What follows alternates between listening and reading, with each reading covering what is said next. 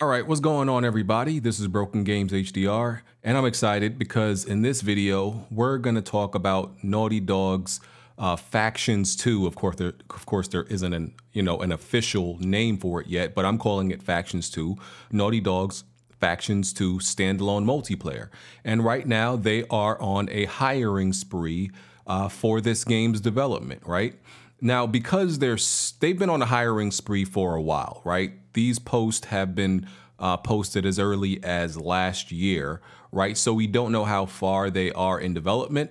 Um, the fact that they're still doing all this hiring could be a bad sign that it's still somewhat early in development, or it could be in the middle. Um, we know that for multiplayer games, developers hire uh, even after its release. So we can't really use all this hiring um, as an absolute indicator as as to where they uh, are in develop in development. But um, yesterday, the most recent position posted for uh, this standalone multiplayer, and I can't remember the first time they uh, they confirmed or acknowledged that th- that Factions Two is a standalone multiplayer. But it is it excites me just the fact that this thing is real and it's acknowledged. Because if you remember, uh, all of us who are Factions fans um, were very distraught when Neil Druckmann came out and said, I think it was not too long before The Last of Us. Um, no, it might have been the year before The Last of Us uh, 2, The Last of Us 2's release, but I think it was not too long before the initial, before the, before it was before the, the delay. Uh, he told us that factions or the multiplayer would not be launching with The Last of Us Part 2, which was very upsetting because as far as we knew, it definitely was and but there were signs and stuff like that because like why haven't we seen the multiplayer up until this point people were questioning questioning them and that's when they came out and acknowledged it but let me read what this uh, twitter post said and it's from the naughty dogs naughty dog jobs uh, official twitter it says naughty dog is hiring across multiple disciplines for the studio's first standalone multiplayer game right and here are all the positions that they are hiring for. And some of these positions go like um, well into like a year ago, I think, up to like a year ago. Um, some of these may have been filled. In fact, I know a few of these have been filled. So some of the posts have been taken down, but I still saved a, few of the positions that I know uh, that I had saved from like a year ago because me and some me and uh, this guy that I know on Twitter have been keeping track of uh, you know the development of this multiplayer because there are people who are definitely you know um, very high on the eh, eh, high on this multiplayer and look forward to it just as much as me. So here are the positions they're hiring for or have been hiring for. A monetization economy designer, multiplayer backend programmer, associate gameplay scripter, um, level environment designer, systems uh, systems designer, visual effects artist, AI programmer, animation programmer, uh, QA pos- certain QA positions, and development support. And this is all for multiplayer. This isn't just general Naughty Dog positions um, to work on different projects. This is specifically for the multiplayer because, as, as we know, Naughty Dog is are, are working on different projects. Uh, there was we know the rumored their uh, the rumored of their official next gen game, which I think is code name called Strays Cross or something like that. Um, and we know there's the rumor of them uh, re remaking the original Last of Us game, which in my opinion, is a waste of their time. Not that I wouldn't get it day one, I would, but I don't think that's the most efficient use of their time. But that's a that's a different story. I'm not going to go off in a tangent uh, regarding that. But I'm excited about this, right? And I got obviously have to give a little bit of background um, for anybody who not who's not familiar. I love Last of Us factions, right? It's it's very underrated. Um, a lot of people didn't give it a chance simply because people see Naughty Dog as a single player story driven game developer. And I understand why because that they do that amazingly, right? That that's where they uh that's that you know, that's where they make their money, really. That's their selling point. And and I get that. But I don't I don't understand the mentality people act act like because you two you you're known or you do one thing the best that you can't do something else the best also. You can't be great at it because Uncharted 2's multiplayer was fantastic. Anybody who's played it knows that. The Uncharted 2 multiplayer was amazing. You did yourself a disservice if you have never played Last of Us Factions or you've never played Uncharted 2's multiplayer. Of course, and I'm purposely not mentioning Uncharted 4 or 3's multiplayer because those are a different story. Four was better than three. Three was a complete disaster. We're gonna we're not gonna get into that. But the point is, Naughty Dog does a really good job at develop developing multiplayer games, right? They are great in my opinion, but once again, people don't really give them a chance, a fair shot, because they see Naughty Dog as uh, you know single player story um, game developers, which you know, in my opinion, you're you're really just uh, doing yourself a disservice, like like I said, uh, because you know they're they're more than that. And with with it with how much people brag about their talent, I don't know why you wouldn't try out all the different things that they do. But I'm excited about this because it being a standalone multiplayer means that it's its own project getting getting all the attention, all the all the focus, the manpower and resources that another that another uh, Naughty Dog project uh, would get, right? Um, because usually the multiplayer comes with a single player and initially, that's upsetting to hear that it didn't launch with a single player. But now I'm actually glad it does it, it didn't launch with a single player because this is going to be a dedicated, focus, uh, uh, uh, uh, you know, project that that gets all the love and manpower and dedication that a, for example, a single player uh, Naughty Dog uh, can, you know, story would get. Now, obviously, like I said, the whole the whole Naughty Dog Studio isn't working on Last of Us Factions 2. Obviously, that's that's not happening.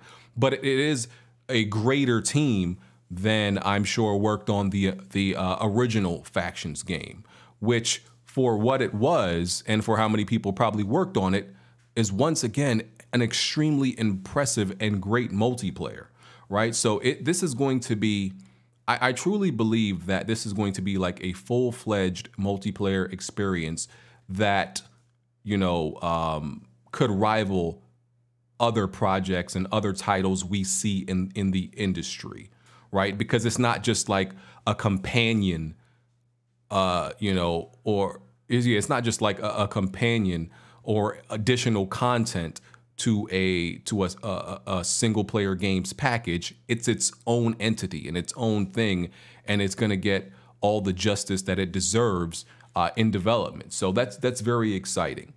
Um, and you know, people always you know talk about how I played factions, and I'm getting a little into a little bit of background about my you know my experience with factions. I played factions for what seems to be over the the, the, the timeline of like seven years, right?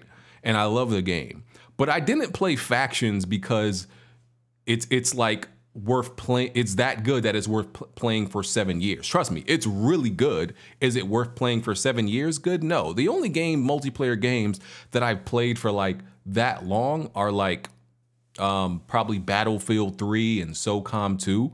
And that's because like with most multiplayer games, I, I think most of them are worth playing, you know, over the course of I don't know. Uh, if I had to throw an arbitrary random number out there, you know, th- maybe around three years, and then I move on to something else. That doesn't mean that the last, the you know, me leaving it is means it's bad. It just means I, mo- I move on to another multiplayer.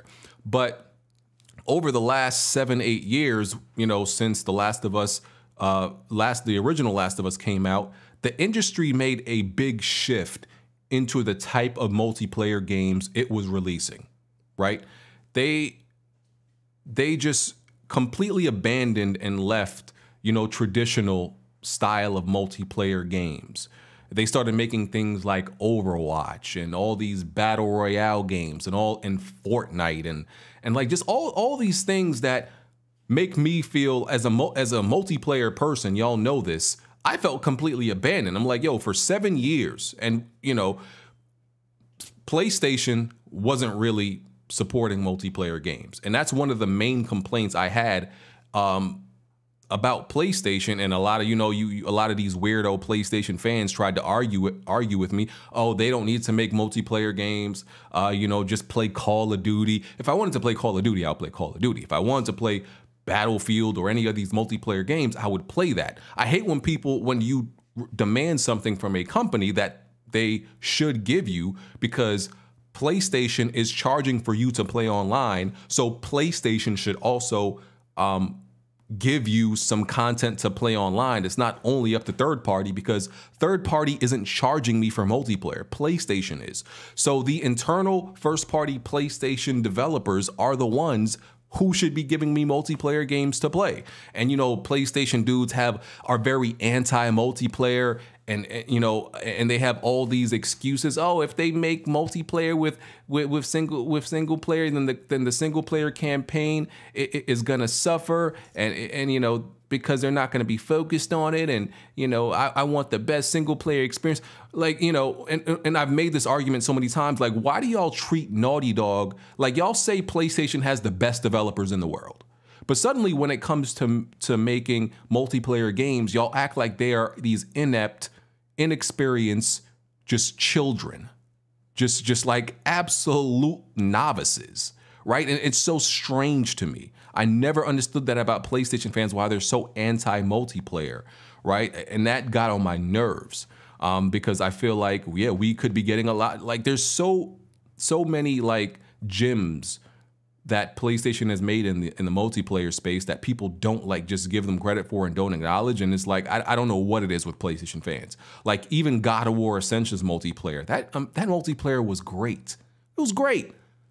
But nobody really paid attention to it enough, and like people just assumed it was, you know, tacked on. Because you know, tacked on is like that term that people love to throw around, especially like years ago and everything like that. But I guess it's also PlayStation's fault in a way because you know with the PlayStation 4 generation, they fed their their base um, just all these great single player experiences, which is great, right? That people that people were brainwashed into thinking, oh, who needs multiplayer? Like, no, we still need multiplayer experiences. That's that's still, uh, you know, that's still a great thing to complement all these single player games, right? But you know, that's that's how the PlayStation fan base was, and you know, those people are absolute idiots, and I hate them.